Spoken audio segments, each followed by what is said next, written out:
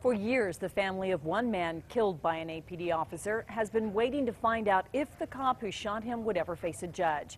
Now they have their answer. News 13's Ian Schwartz is live in the Newsplex with the story. Officer Brandon Carr was fired for the 2009 burglary call turned shooting, but a grand jury felt his actions were justified.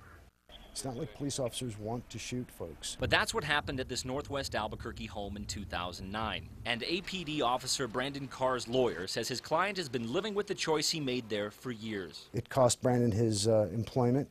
It cost Brandon his certification. Carr and another officer were responding to a burglary call. When they got to the home, they found Roderick Jones inside. Carr says he told Jones to surrender, but didn't. And Carr says instead he reached for a weapon. That's when Officer Carr shot and killed Jones.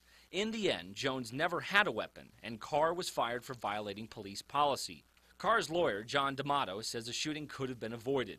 Had he just obeyed the police, none of this would have occurred. The Jones family did file a lawsuit, and the city had to pay out more than a million dollars. The suit says Carr claimed the shooting happened inside the home, but an internal investigation showed Carr lied, and the officer shot Jones in the back outside the home as he was trying to get away. But after reviewing all the evidence they were presented, the grand jury sided with the officer. I think it sends a message to the police that they could get away with just about anything. Attorney Joe Fine represented the Jones family in the civil suit against the city.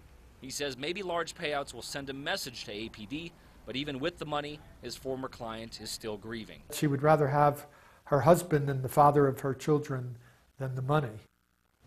We asked Brandon Carr's lawyer if his client wanted to talk on camera, but Carr declined. Back to you. All right, Ian Carr is no longer in law enforcement. His lawyer says he is in a new profession and is going back to school.